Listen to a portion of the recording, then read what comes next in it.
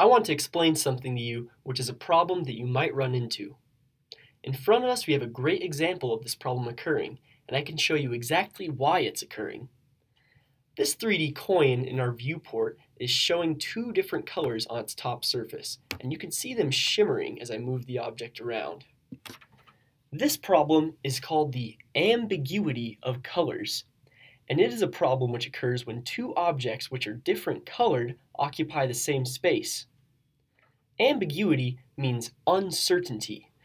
The software faces an uncertain or ambiguous situation when it looks at one space with two different colors and tries to decide which color the space actually is. If we look at the code, we can see that two coins, C and G, are created with different radii, C having a radius of 0.75 and G having a radius of 1. Then they're giving different colors, and they're displayed despite the fact that they occupy the same space. This, of course, leads to the ambiguous color situation that we can see in front of us.